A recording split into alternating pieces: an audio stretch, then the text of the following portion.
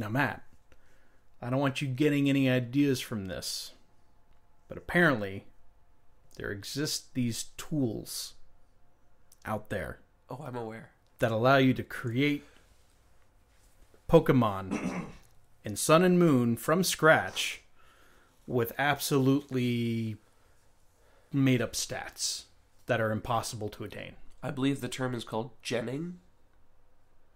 Hmm. En- enlighten us. Um, How does this work? I don't know exactly like how to do it. I know that there's a program that you have to get, and your your 3ds has to be, um, what's the term? Modded? Modded. Yeah. Soft modded? yeah. Um. Uh, homebrewed, that kind of thing. Yeah. Uh. Once you get to that, there's a program you can get. Um, I've seen one. I there might be more than just one. Um, but I was curious about the matter because I have a lot of buddies of mine in college who have, uh, they've either naturally trained like stupid strong Pokemon, getting their IVs and everything through like breeding, and they've created like a super team of their own, which is perfectly fine with you. But as much as I do love Pokemon, and I do plan on creating a competitive team, I don't have the time or the patience to breed the perfect team, Mm-hmm. which might sound kind of ironic or hypocritical considering I shiny hunt, because that's just as time consuming. Um, but if you want to skip all of that and you don't want to work on your stats, there is a way to take Pokemon um, from your game. Like, let's say um, a Caterpie. You have a Caterpie in, a, in your PC. You use this program. You open up the game. You take the Caterpie. You put it in your. I think you have to put it in your um, PC box. Mm-hmm. Take the Caterpie in this program. You click on it. You drag it over. Whatever you do. And you basically turn that Caterpie, which could be like, let's go ahead and give it a realistic level of like a Route 1 or Route 2 Caterpie of like level 3 or 4. Um, actually, I don't think you can get uh, Caterpie until Viridian Forest. So, say level 5. Level 5 or level 4. You can basically turn that level 4 or level 5 Caterpie into a level 100 uh, Mewtwo with just godlike stats that could never ever exist in a game and give it any move that you want. Like, it doesn't move. it doesn't have to be like within the moves that Mewtwo can learn. Just no, no, no. whatever. Uh, you could You want him to learn Solar Beam, he'll learn Yeah. Solar Beam. Yeah. um, you could run a let's say um and I know that let's say you wanted to run like a super powered um bolt strike uh volt tackle hydro cannon Mewtwo for whatever reason level 100 special attack all the way up uh, HP and defense and special defense all the way up speed all the way up. Um, why not throw attack all the way up just you know for superpower? You can do that. Super easy. Um, provided that you have the program and a hacked 3ds or modded 3ds um, and i believe the term is called genning don't quote me on that that's just what i've heard uh, other people say um, but yeah. And you can also you can make illegal Pokemon, but you can also make legal Pokemon doing this method. Mm-hmm. Uh so yeah. Well, this has led to some bans. Um, of nearly, according to the Pokemon news site Serebii, nearly 6,000 people have been banned from going online in Sun and Moon, and all for having altered save data. they cannot participate in ranked online battles, global missions, or anything that requires game sync. Um, and it gives you a very standard error message. Um, the connection to Pokemon Global Link from the save data has been denied. Error code 0900212. It doesn't even. It, the other thing is, we, we've talked about, you know, Nintendo banning certain people for for cheating. Um, normally, there's something like, you know, visit nintendo.com slash support for more information or something like that. That doesn't even have it on here. Um, so basically, it's just it's it's basically saying you're gonna have to start over at this point. Maybe it does seem to be tied to the save data. Like if they notice any abnormalities in your save data, like Im- Pokemon with impossible stats, you will be detected, and your access will be cut off. Does that make you happy, Matt? That people are doing that? That people are being banned for doing this. Um.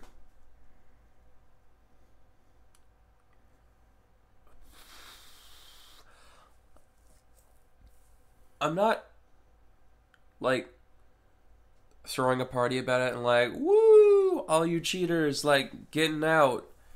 Mm-mm. Nintendo ain't gonna take that. At the same time, I'm not like against that just because like if I had the capabilities of genning, I would probably do it. But in like the legal terms, which uh, this article on Kotaku talks about, uh, there are also people um, who play uh, Pokemon professionally on YouTube who have, um, excuse me, they've done this.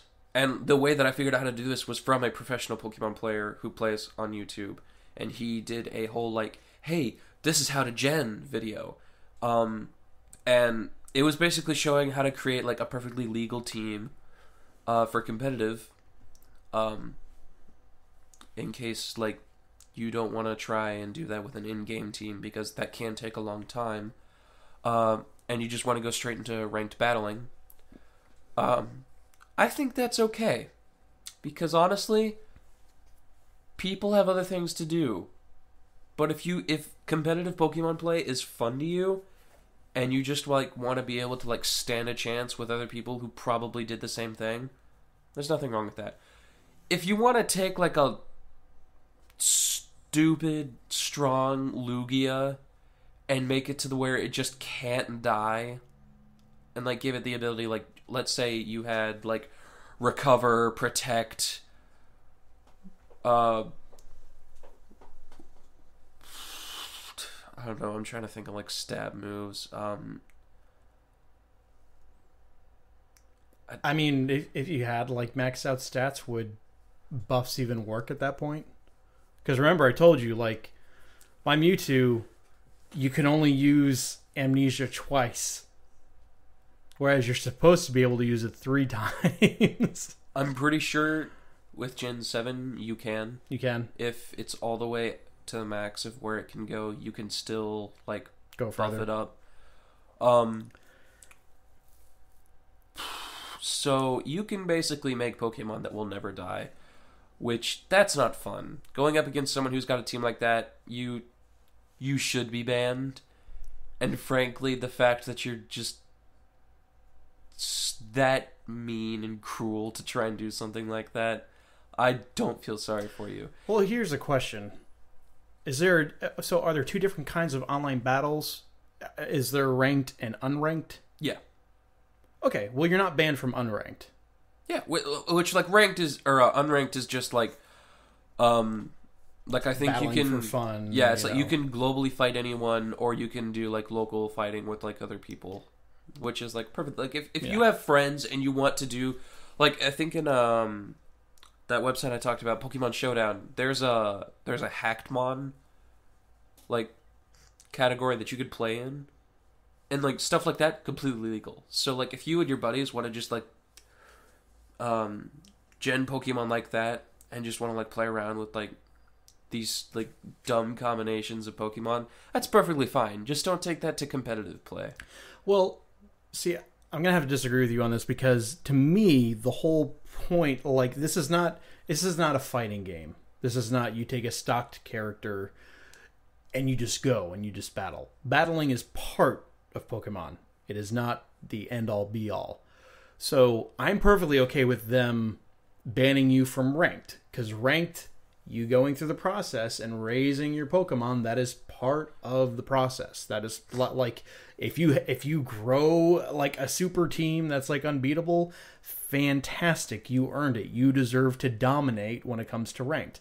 The other thing is um, pokemon yellow kind of had a strategy for like you know well if you're going up against someone who's got um you know level you know they just have a like a level 100 team well then you go into the different cups and the different cups would say like you know only pokemon between you know levels or up to level 25 and you can't their combined levels can't exceed 50 you know that kind of thing where it limits you know what which ones you can you can use and only like and even then it was like only base forms so then you had to completely rethink your strategy so to me it's not bring if you want to bring everyone up to the same level competitively. You don't give everyone like these like huge, massively overpowered Pokemon. You bring them down. You stay within the realm of the game.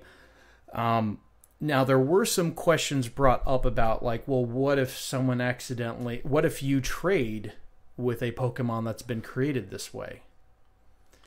Well, hopefully you'll be banned. Hopefully they'll be banned by then, so that they can't trade with you online. Also, you should definitely be able to tell if a Pokemon is legal or not by looking at its stats. You you can easily like look at its stats and then look Special online. stat nine nine nine. Don't think that no. Um, also, there are certain shinies that aren't you are not able to get them in the game as of now. Um, and I have seen them like in I have seen like in game shinies of like legendaries is like uh yeah that you, you you can't do that. Not even soft resetting because uh, they're shiny locked right now, mm-hmm. and it's just like you just see people like showing off like hey i have a shiny lunala. It's my favorite. I'm like oh okay um you don't battle with that do you? Because like even that is considered like this is a no no Well, apparently, if you take, uh, there's some issues with certain Pokemon just being banned in online battles. Like if you take a Seadra from the Virtual Console game, because I think you can you can transfer them into the Pokemon Bank and then get them into your uh, Sun and Moon copy. If you take that Seadra and evolve it into Kingdra, for some reason, it will not allow that Pokemon to participate in online battles. That may just be a stats thing. I don't. I don't think that that's like. I don't think you're being you know ban hammered at that point i think it's it's just simply no this one this you know this particular these pokemon won't work in the competitive landscape that sun and moon currently operate in i think it has to do with the fact that i think pokebank just got updated for gen 7 Mhm. so you can bring other pokemon from your old games into pokemon sun and moon but you Um, probably can't use them competitively They, ha- I'm pretty sure that there are some Pokemon that aren't in Sun and Moon, um, that are in like other regions. Uh, or wait, like Seadra. You can't find that in Sun and Moon, so that has to be transferred using Pokebank into that. I don't know how much they they could have done like the entire Pokédex and done like all 812 Pokemon and like uh, revisited their stats and everything like that. I don't know if they have yet. Um, and every other game has had like a national dex, so to like start off with.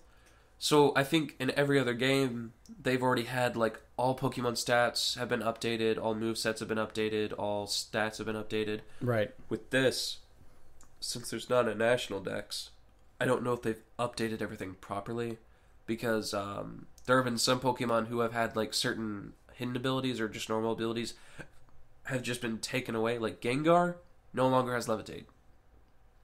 He instead gets, I think it's like Cursed Body or something like that. Uh, which, by the way, is stupid. And I hate that they did that. Is this one? That is one of my favorite Ghost type Pokemon. He's Ghost Poison, was the I think he really was like the best fairy killer in the game because most fairy types have like they can get ground type moves um and use like earth power or Mhm. earthquake which are just really strong ground type moves which could like I'm pretty sure a Gengar could live a hit but With ground being strong against poison. yeah and it's still considered super effective so now Gengar is he's not useless but um, you don't really I haven't seen a lot of Gengar used in competitive play. Um, I don't think it's completely hindered it, but it definitely has made it less popular in the competitive scene. Mm-hmm. Um, and there could be like other like they might be thinking of other Pokemon to do the exact same thing with, like giving them uh, certain abilities that could help them, or certain abilities that are uh, make it easier to like, or make them like less hard to kill. Um, kill, beat. Faint. We're gonna make it. s- I don't know. Kill just sounds so brutal. Defeat. Yeah. Um and also like again, this is like a brand like Pokebank just got updated. I think it was this week. So seeing things like that kind of like makes sense. Like Mhm. there'll probably be like patches that'll come up that are like, "Hey, this is totally okay now. You want to use a uh, Kingdra in competitive? Right. Go do it." Yeah, um, and it seems like a lot of the the reports of this band they're they're actually affecting like people who are fessing up to yeah, you know, I did alter the save data to to get these impossible Pokemon to exist, so it seems to be doing what it intended to do. If it if it does get to a point though where you know it starts banning people for doing things within the completely normal confines of the game, then it's a problem. But thankfully, it's not doing that yet. But you never know. This seems to be one of those bands that actually does what it's intended to do pretty well.